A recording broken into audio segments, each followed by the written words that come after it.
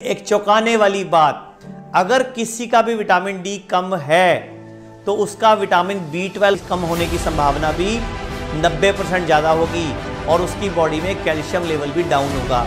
अगर आप चाहते हो विटामिन डी अपने आप बढ़ जाए तो दूध और दूध की बनी चीज़ें 15 से 30 दिन के लिए छोड़ दिया करिए।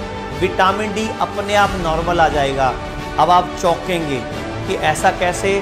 कि अगर हमने दूध पिया ही नहीं, विटामिन डी कम कैसे हो गया और आप कह रहे हो बढ़ कैसे जाएगा?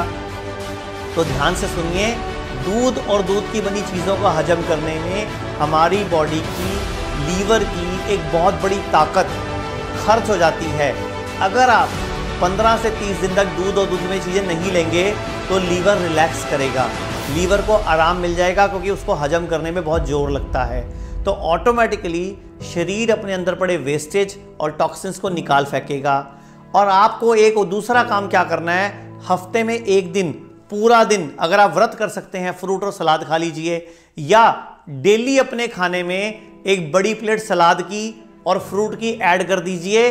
अपने आप विटामिन डी बिना किसी सैशे के, बिना किसी गोली के, बिना किसी कैप्सूल के पूरा हो जाएगा, क्योंकि सब्ज़ियाँ और फ्रूट सब सूरज की रोशनी में प्रकृति के आशीर्वाद से उगती हैं। जब वो आपकी मात्रा बॉडी में जाएगी, पूरी की पूरी आपका विटामिन डी अपने आप बढ़ जाएगा बी ट्वेल्व अपने आप बढ़ जाएगा कैल्शियम आयरन का लेवल अपने आप ठीक हो जाएगा।